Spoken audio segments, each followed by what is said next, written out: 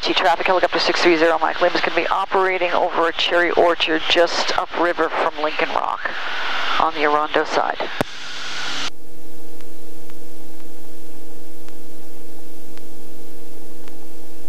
Okay, and here it is to the side here. Now I've got to come up with a good way to get in. I got to go over all these wires.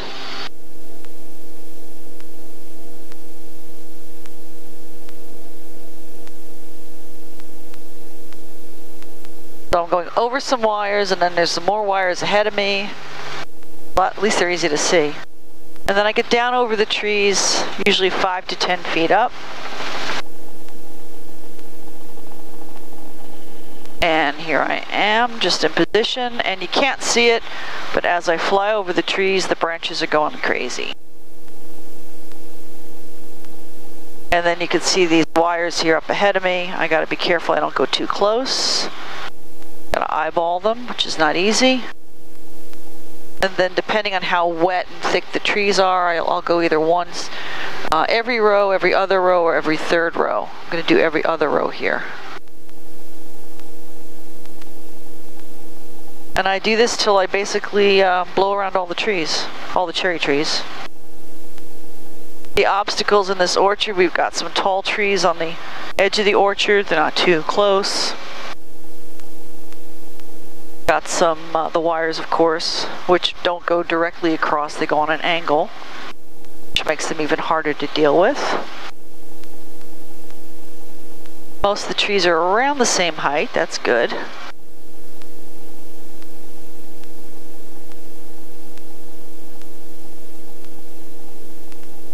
I don't go anywhere near the wires.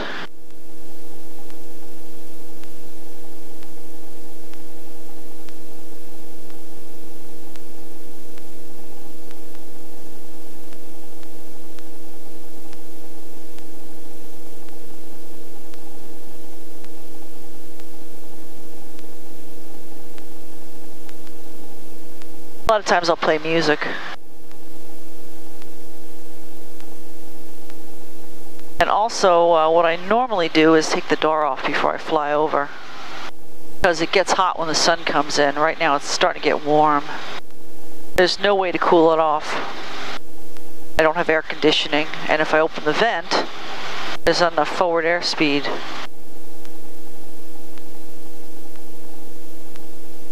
really unnerving when you go this close to the wires.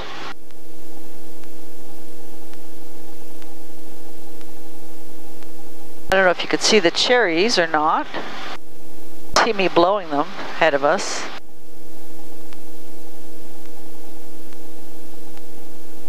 This orchard's um, got a lot of gaps in it. That's not usual. It's probably a pretty old orchard. And as the trees died, they weren't replaced. That's why there's gaps. It's unfortunate because it's, well, it's kind of ugly.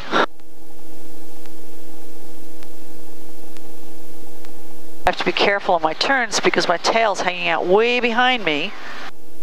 And um, if there's trees or wires back there, I've got to make sure I got plenty of room for the tail to make it around. So that, I make a lot of my turns kind of slowly moving while I'm doing it.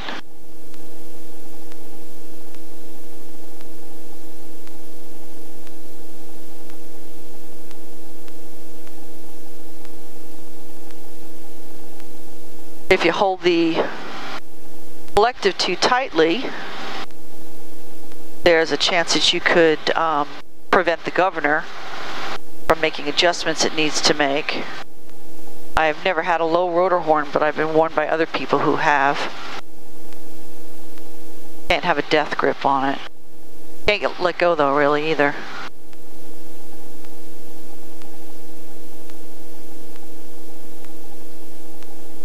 So now if I just turned here to the uh, left, my tail would go right into that tall tree, so I have to kind of maneuver, then turn. I don't have to turn at all. There's nothing that says I have to turn.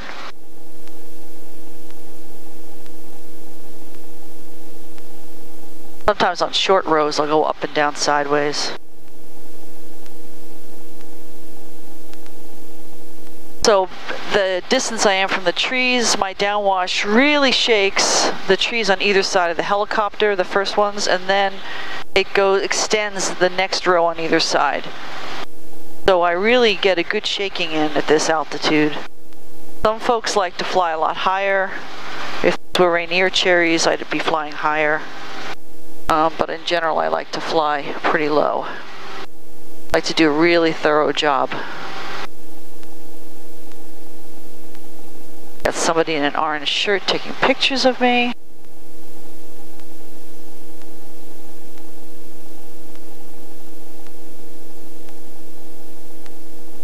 I always wonder if I'm going to be on YouTube.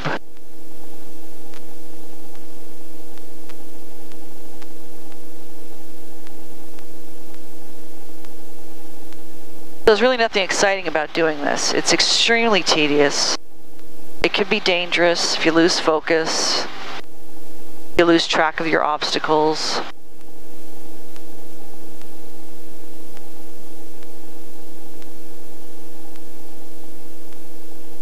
This is my ninth season doing this. Make a decent living if I keep my costs low, which I try to.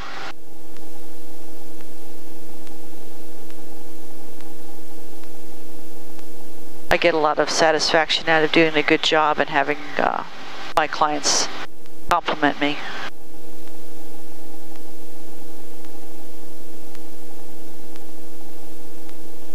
Pole here, big tree, flying cardboard. A lot of times people have stuff in the backyard that flies around.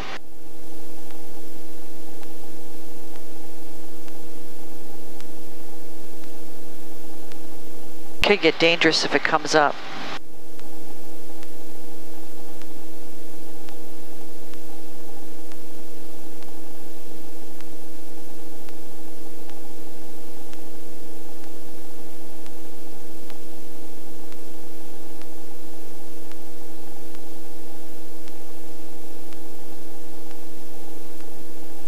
When the trees are really wet, I can see the water on them, but I'm not really seeing that today.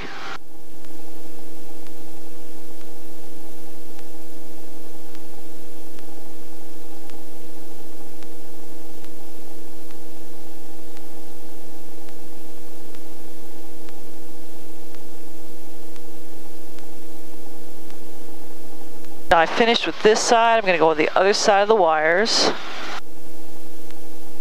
Climb up, go over the tower usually.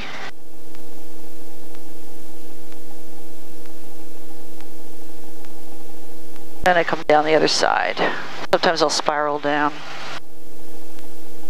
You don't want to go straight down, especially fast. You get into settling with power.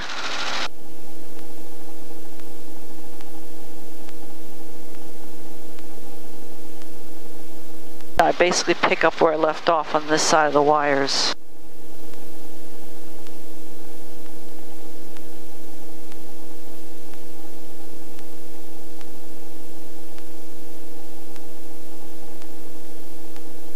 Trees over here I missed.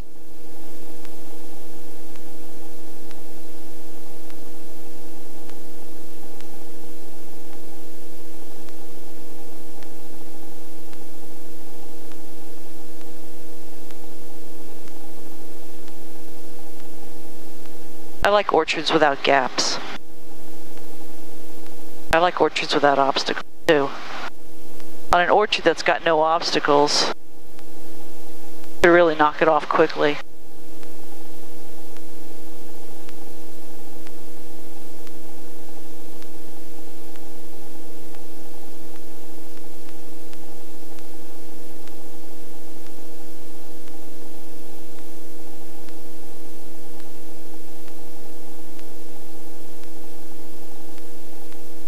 The problem with these wires, they go through on an angle, so every row, they're a little bit closer. Row is a little shorter than the one before, and you really can't see exactly where they are. It's really unnerving.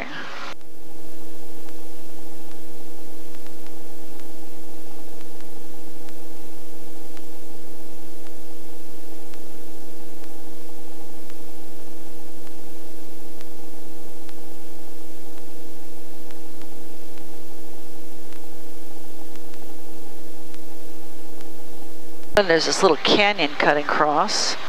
Now I can go to the end.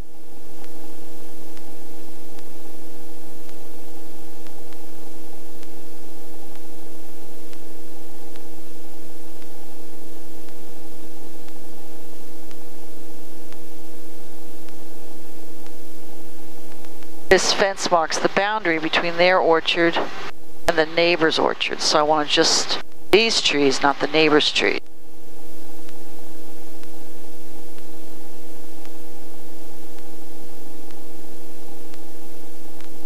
And then they've got some more over here.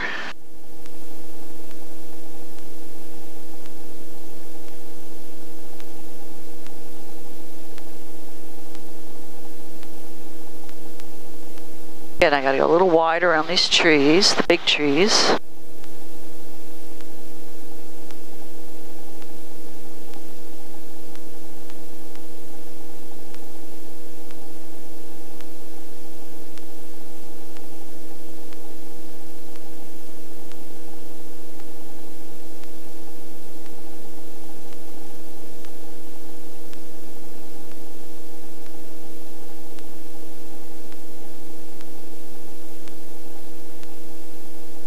I don't know if you saw it, but there was a guy pulling a blower in the next orchard over. The blowers are used to spray chemicals, um, you know, pesticides and whatever they need to spray on the trees. But what'll happen is if they want to dry the trees and they don't want to pay for a helicopter, they'll run the blowers with no chemicals in them and they'll just blow the air around. And if you've got young trees, um, that's not a bad way to do it. It takes a long time because you got to go down every row. Uh, if the young trees, young small trees, it'll do a decent job. But if you've got really bigger trees or they're really dense, um, helicopter's the way to go. Uh, either way, helicopter's much, much faster.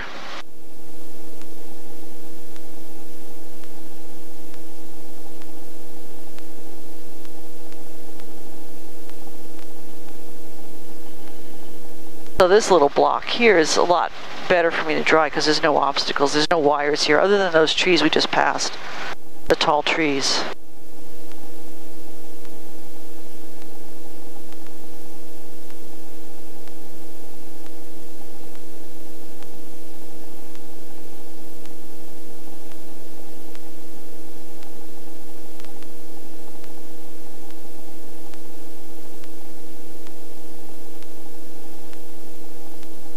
Flying helicopters is a glamour job, uh, that's not all glamour. There's nothing glamorous about this. It's really boring.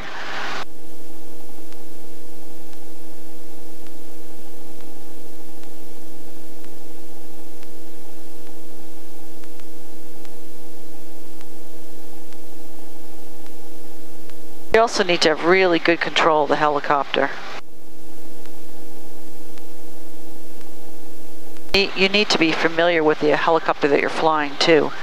Because if you're used to flying a smaller helicopter and then you get into something like an R-44 from maybe an R-22, uh, the problem is you don't realize that your blades are longer, your tail is longer, and you gotta keep track of that stuff when you're flying, when especially when there's obstacles.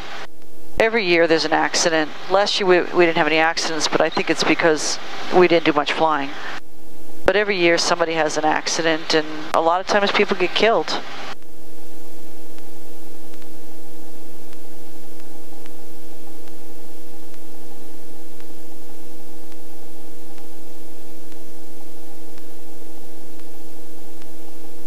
The trees ahead of us on the other side of the fence uh, look like pear trees.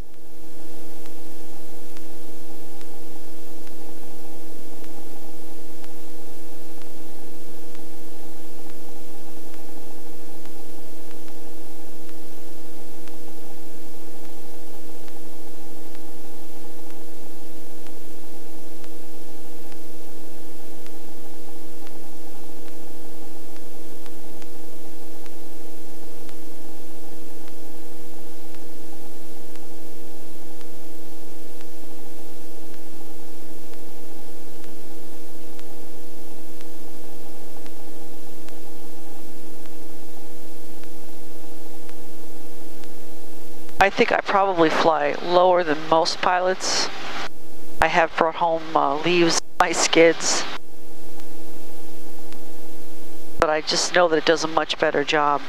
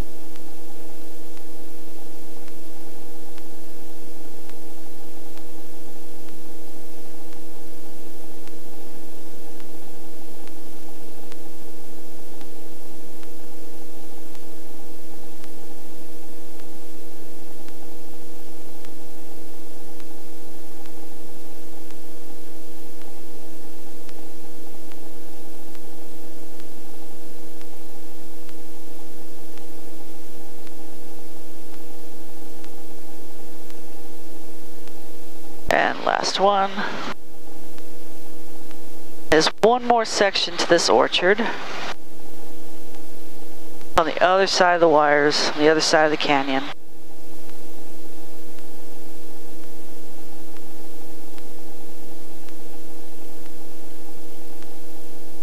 I climb up.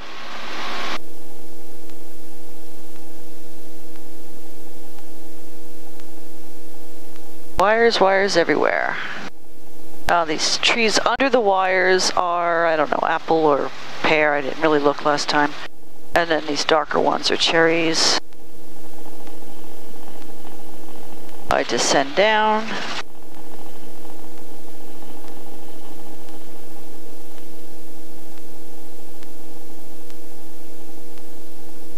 It's funny, but if you do the same orchard over and over and over again, you kind of remember it. You remember like weird branches and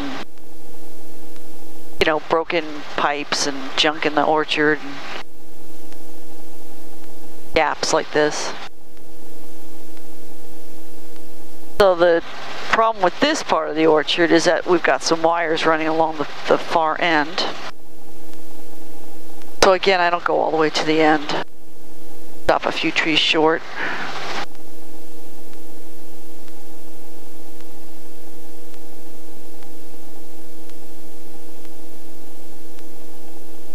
Were some tall trees behind me just then, so I had to kind of make a weird turn. Birds in the orchard, that's bad. I had one grower tell me that birds cost him more than I did. Because they, once you, uh, one bird peck on a cherry, can't sell it.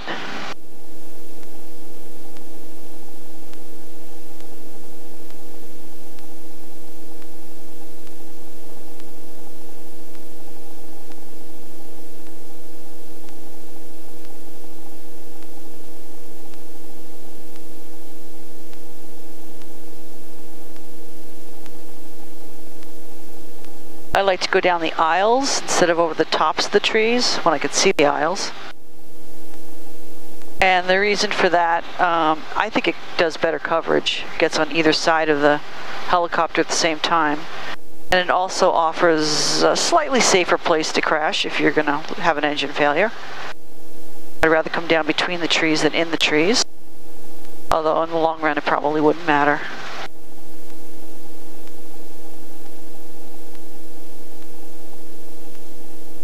Also, I normally fly with a case of uh, oil in the front passenger footwell. Um, what does that do? Why do I do that? I do that uh, for ballast, basically. Just makes it uh, easy to weigh down the front of the helicopter a little bit more. And what that does for me is it keeps me more level in flight so my tail's not drooping. And I forgot to put that on board before I left not a major deal. I, I do fly with it like that probably about half the time. And the other half of the time I forget.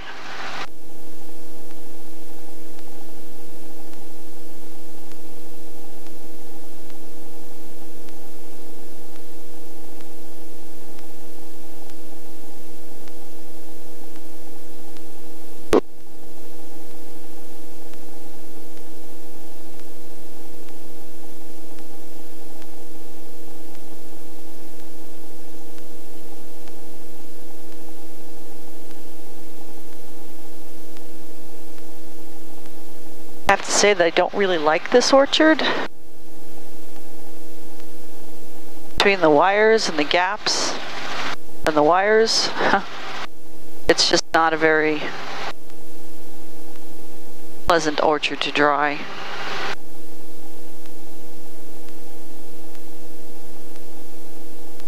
You can see the tire tracks down below the trees. That's probably where they drove up and down with blowers.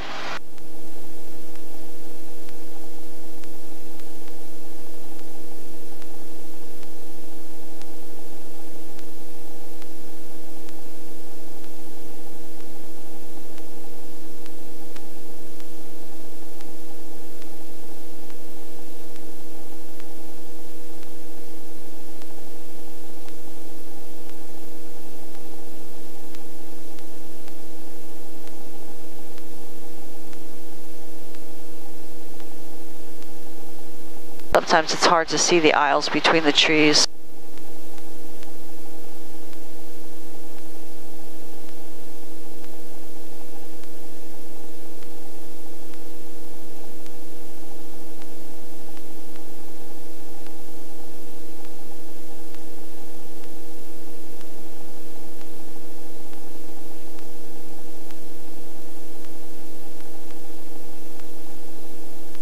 What's interesting about this orchard too is that there are poles sticking up from topside irrigation or cooling.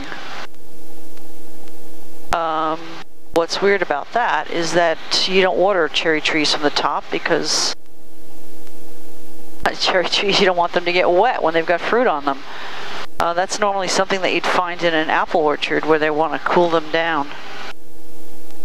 So I'm wondering uh, it just seems to me trees this age to still have those I have no idea what that's all about here. Just too weird.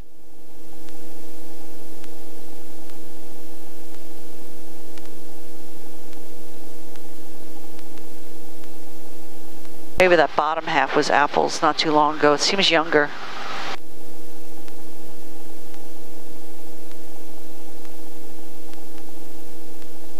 if I'm not listening to music or podcasts while I'm flying, I'm just thinking of stuff like that. Like, why is that? How did that get there? What are they thinking?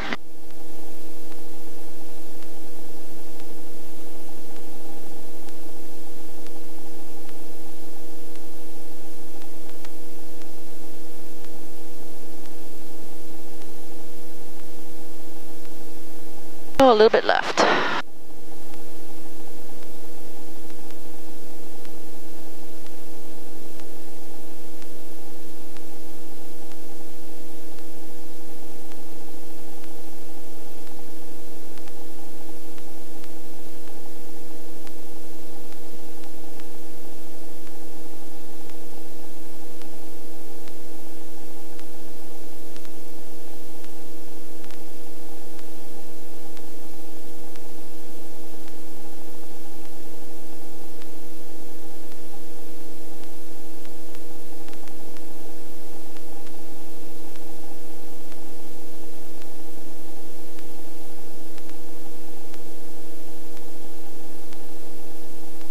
More row. Even a whole row.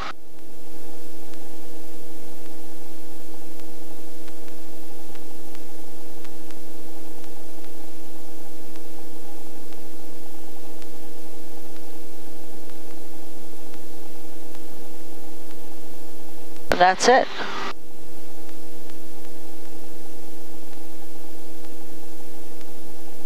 So I just climb out of here and, and head back.